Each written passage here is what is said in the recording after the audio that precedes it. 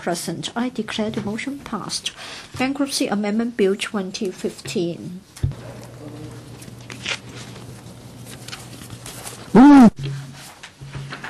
Council resumes.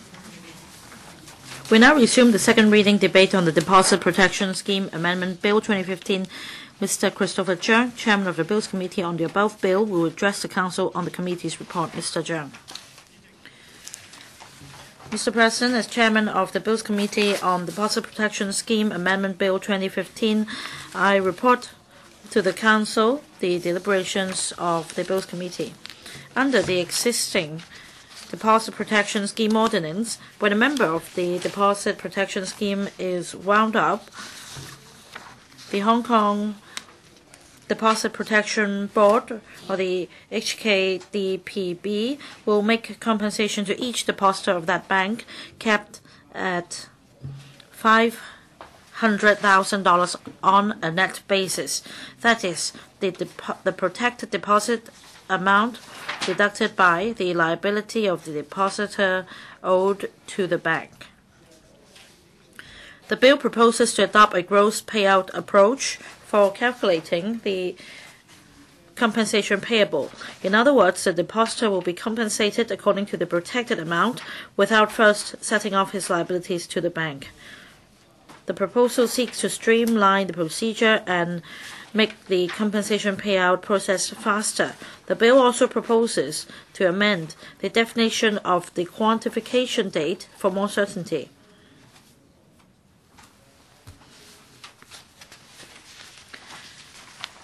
Also, the Hong Kong Deposit Protection Board will be allowed to use electronic communication in addition to the conventional paper form communication to notify depositors of the compensation arrangements.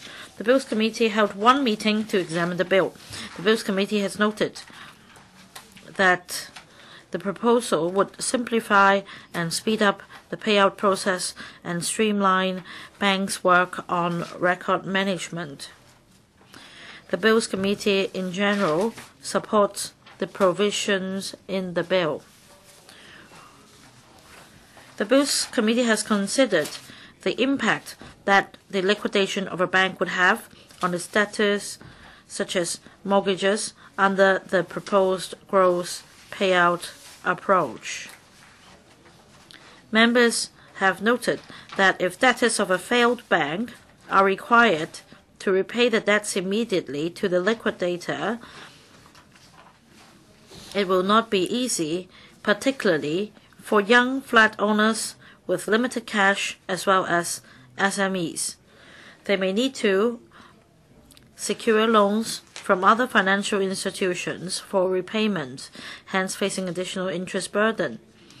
The administration has advised that adopting the gross payout appro approach will not extinguish a depositor's liabilities owed to the relevant bank.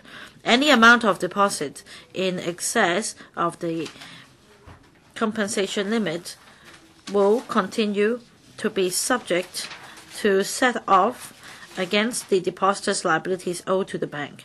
The depositor is still obliged to settle any outstanding debt in accordance with the terms of the loans after receiving compensation. The Bills Committee has also noted that in general, the winding up of a bank does not affect the validity of any existing contracts, such as loans or mortgages entered into by a bank with its customers. In the case of a mortgage, a mortgagor, whether or not he is simultaneously a depositor of the bank or not, is still obliged to repay his mortgage to the liquidator of a failed bank according to the contract terms. The liquidator cannot call in the mortgage unless the mortgagor fails to comply with the mortgage terms.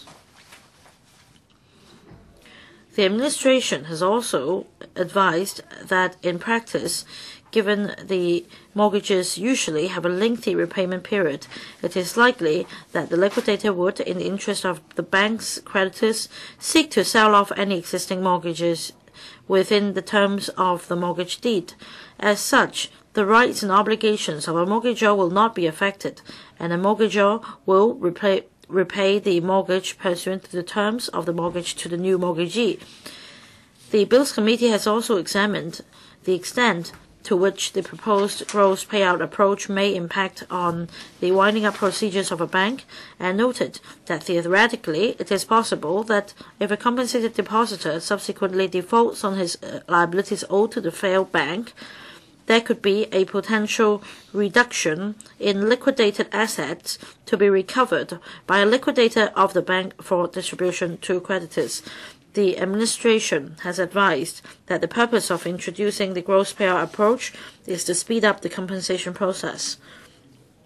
While there will be no need to set off a depositor's deposits, the current credit hierarchy in the insolvency of and in the insolvency proceedings applicable to applicable to a bank under the company's winding up and miscellaneous provisions ordinance will remain unchanged.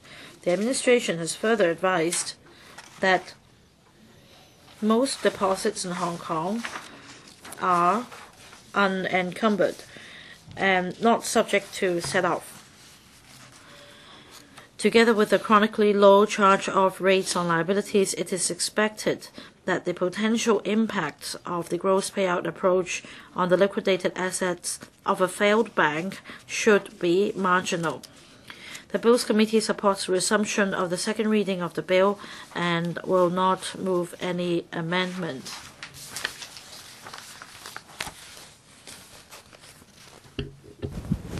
Mr. Jeffrey Lam. Mr. Deputy, we have a sound financial system.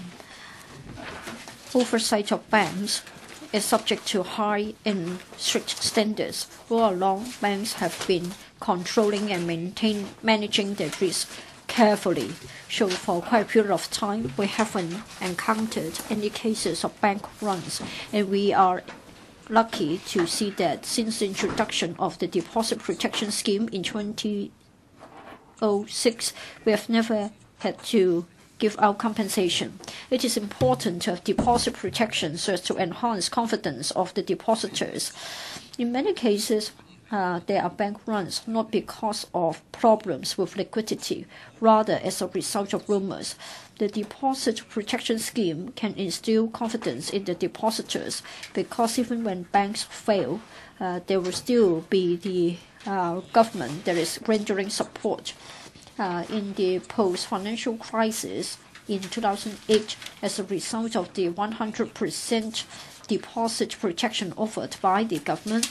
Citizens and enterprises were confident to maintain their deposits with the banking system, and we can we were able to prevent the worsening of the financial situation of Hong Kong. The purpose of the bill is to enhance the ability uh, to pay out. And in fact, um, the approach will be changed from gross pay uh, from net payout to gross payout, so the payment can be made in seven days' time. The previous approach means that um, we have to set off the liabilities first before the deposit can be returned to the depositors. Under the new approach, which is gross payment approach, first of all, the protected uh, deposits will be uh, paid out, and then uh, credit card liabilities or other debts, etc., um, they will only be sort of claimed back later on. I think this is the new international trend, and as a result, the compensation procedures will be swifter. This is especially important when there is an economic crisis and there is a lack of confidence on the part of the public. In case that there is a bank run, if citizens can take back their deposits in the shortest possible period of time, then it will be the best way to instill confidence in them, and then we can prevent the spread of um, fear, and it will uh, reduce the contagion effect. Mr. Deputy, a sound financial infrastructure in Hong Kong is the best foundation for our business. Even though we have never had to have to invoke the deposit protection scheme compensation uh, mechanisms, we still have to be careful. We don't know when the next financial crisis will emerge. Of course, we don't want to see it happening at all, but we have to make sure that the citizens have confidence in our financial system, and then we can cope with any crisis that may happen. Of course, public education is needed.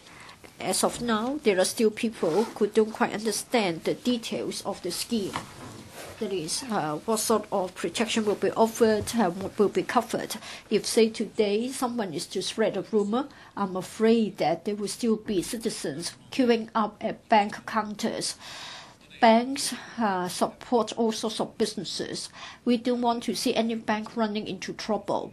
And we hope that the safety net of the deposit protection scheme is just a tool that we have uh, in our toolkit. Thank you. I support the bill. Mr. Chan Kam Lam. Mr. Deputy, the Deposit Protection Scheme in Hong Kong was introduced in uh, 2006. The scheme provides uh, protection to depositor and the banking sector. It instills confidence in the banking system. Uh, fortunately, it has never been triggered. So this shows that we have a very robust banking system. The government conducted a review of the system, and there was a consultation on the proposed amendments to the scheme. The bill aims at uh, improving the deposit protection scheme, and in that, uh, the compensation will be based on the uh, gross amount, and that is to say, the the deposit of the depositors uh, in the bank would not have to be set off against liabilities uh, owed to the same bank at the time of the payout determination. This would uh, inc increase the certainty at the time of uh, calculating compensation. And Hong Kong's uh, Hong Kong Deposit Protection Board uh, will also be allowed under the bill to adopt other than conventional communication means uh, to inform the uh, depositor the compensation arrangement through electronic means. When there's a banking crisis and the scheme is triggered, the time of uh, processing compensation can be expedited. This is uh, good for depositors and also good for banks.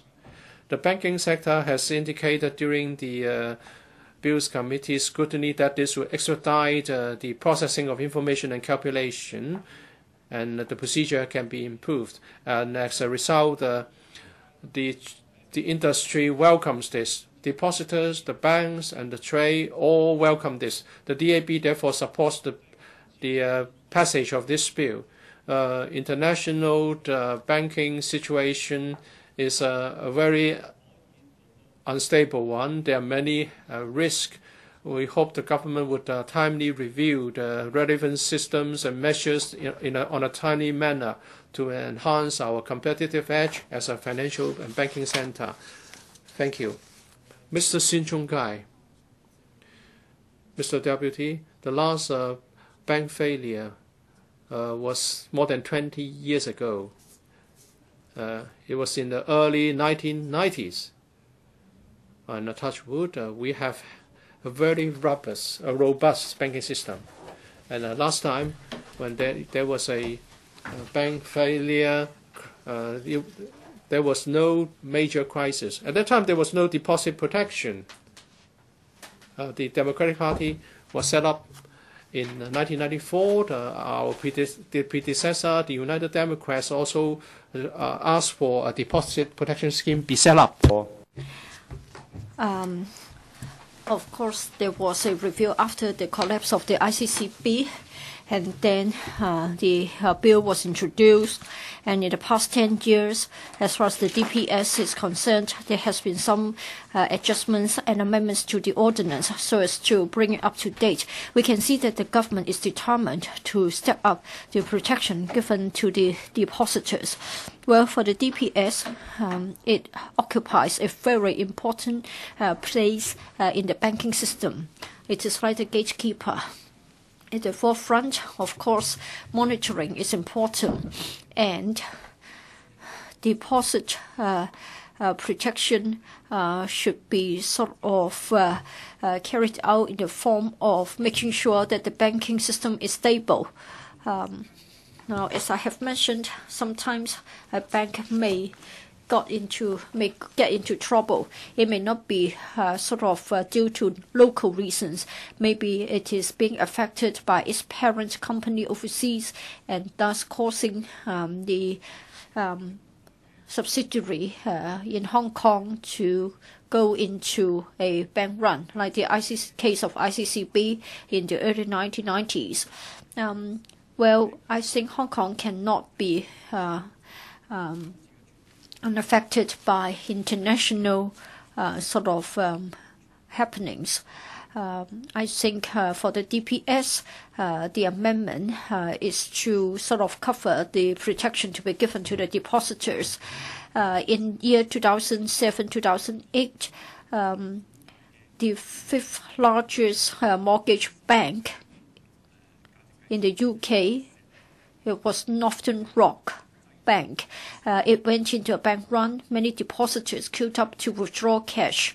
At the end of the day, the uh, Bank of England had to provide financial help up to an amount of 24 billion uh, English pounds, and there was 100% uh, guarantee for the uh, deposits. Um, the Northern Rock Bank wasn't involved in uh, any sort of mortgaging uh, business, but then its capital mainly came from the securitization of its own mortgages. So Northern Rock Bank was not involved in the U.S. mortgage market, but as a result of the difficulties to raise capital and as a result of the difficulty to get uh, loans on the long term, and so there was a short-term crisis for Northern Rock Bank. An effective DPS can enhance the confidence of the depositors as as the citizens if we can uh, give compensation timely and swiftly, then we can contain the spread of the uh, uh, rumor. In other words, uh, you won't see queues of um, uh, depositors lining up outside a bank. To make sure that the compensation can be uh, carried out uh, swiftly, many banks have already switched to the um, gross payout approach instead of the net payout approach. Um, sometimes they may also use the aggregate payout approach, but it doesn't uh, extinguish the uh, liabilities of the depositors uh, with the uh, banks. Anything exceeding uh, the scope of the deposit protection scheme means that the deposits will still be sort of uh, there, and then they can be sort of uh, dealt with by uh, setting off the liabilities. A depositor must still discharge its duty towards the bank or the uh, creditor in relation to outstanding liabilities. Briefly speaking, it is a technical sort of uh, change, so that in the case of a uh, bank failure, it means that depositors will get back their compensation earlier. It will be facilitating. It is not a matter of enhancing the amount of compensation. It's merely a matter of uh, um, quickening the uh, procedures so as to prevent the spread of the financial crisis. It is worthy of our support. The Democratic Party will support uh, the bill, and uh, we hope that the DPS policy will be updated and all the time so that uh, we can gradually uh, increase the amount involved. Mr. Ng Thank you, De Mr. Deputy. In relation to the second or resumption second reading of the Deposit Protection Scheme Amendment Bill 2015, I support it and as a representative of the financial services sector that the scheme has been um, in place for over 10 years. Practitioners in the industry have been implementing the relevant initiatives under the scheme. The regulatory authorities have also been um, overseeing its implementation in a stringent manner. Uh, it has helped um, enhance stability in society. It's also well received by the community. And as uh, mentioned by other members, it is um, the scheme is not expected to be triggered. It offers protection to various sectors of the community, be it the banking sector or the public. As for uh, how liabilities owed to the bank should be handled, I believe the administration's proposed measures are appropriate. That is, in relation to um, the depositors' compensation amount uh, against the uh, depositors' liabilities to the bank. So, with the bill being passed, I think it will help development of the industry. It will also uh, bolster Hong Kong's status as, as an international financial center. So uh, I hope that this will contribute to the to society. Does any other member wish to speak? If not, I now call upon the Secretary for Financial Services and the Treasury to reply. The debate will come to a close after the Secretary has replied. Secretary for Financial Services and the Treasury. First of all, I'd like to thank Mr. Christopher Cheung and uh, other members for their efforts in uh, scrutinizing the uh, Deposit Protection Scheme Amendment Bill 2015, and it has not been successfully scrutinized. The bill aims at uh, changing the compensation from a net to a gross basis so that when the uh, deposit protection scheme is triggered, we can expedite the determination of the amount of compensation and the uh, notification issued. Since the introduction of the DPS in 2006, the system has never been triggered, but this is important in uh, maintaining public confidence we have made reference to the international development in this regard since the financial crisis. If the compensation scheme is triggered under the uh, gross basis, there will be no need to uh, set off the depositors deposit against the liabilities to the same bank. The current uh, limit of compensation is uh, $500,000.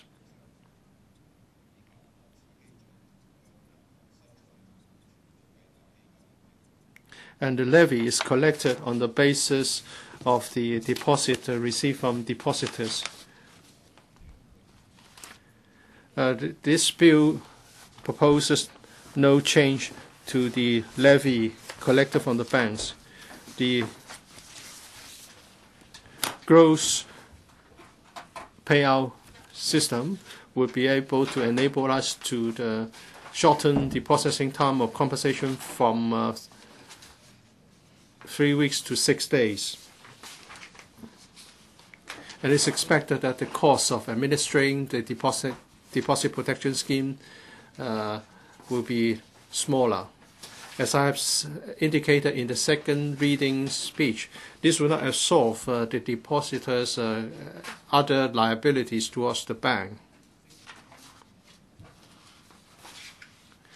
And also the hierarchy and the order in the liquidation process will not be affected, in the winding up process will not be affected. And uh, the depositor will still be liable to the, meet the obligations towards the banks, and the bill will not affect the effectiveness, the the uh, validity of any contract, such as uh, mortgage or loans.